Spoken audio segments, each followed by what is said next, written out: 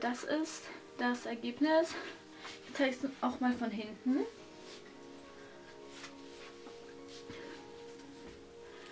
Also in der Kamera wirkt es noch ein bisschen pinker als in echt, aber es ist halt so ein Lila mit so einem leichten Pinkstich. Also ich hatte ja schon mal nur Violett drin und das war eben so eher... Das war eben eher bläulicher im Vergleich zu dem hier. Und ich wollte es halt eher ein bisschen pinkstichiger haben.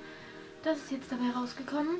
Eigentlich gibt es nicht mehr viel zu sagen, außer das, was ich immer sage, dass ich es zwei Stunden einwirken lassen habe, mit kaltem Wasser ausgespült habe. Und ja, genau. Und ich weiß, ich habe nicht irgendwie so einen Plan, wenn ich das einschmiere. Ich mache das so irgendwie einfach immer, aber am Ende schaffe ich es eigentlich, dass alles farbig ist. Also klappt es ja. Keine Ahnung, ich nehme halt irgendwie immer so die Strähnen und pinsel die so ein. Und dann nehme ich noch mit der Hand irgendwann einfach und verschmiere das einfach alles auf den Kopf.